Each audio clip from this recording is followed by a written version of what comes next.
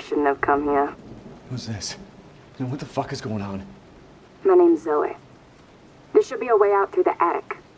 Attic. Go there. Now.